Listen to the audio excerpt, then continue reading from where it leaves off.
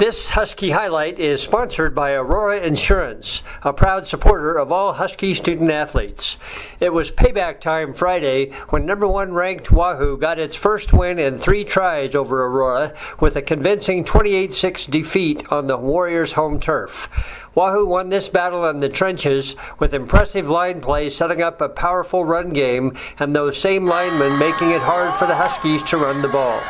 Wahoo had 429 total yards compared to Aurora's 294, with Trevin Luben doing most of the damage with 251 rushing yards. Talking to a couple of Huskies after a tough loss tonight to Wahoo. Cole Fiala, senior, uh, what's it feel like to be part of this team and, and how did this game feel tonight?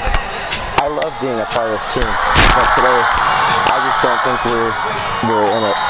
We just need to be more explosive and keep working off the ball. A lot of history against Wahoo. We got them twice last last year. This time uh, they just seem to, to be a little more physical up front. How would you define the play up front in the trenches?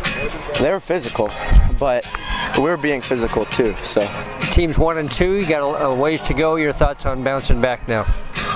I 100% think we can do it. We just need to keep working harder during practice. All right, thanks for your time. Yeah.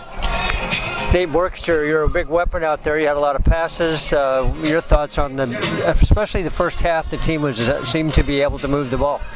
We were moving the ball really well. We get to go, uh, red zone, but we couldn't finish. That's one thing we got to focus on is finishing.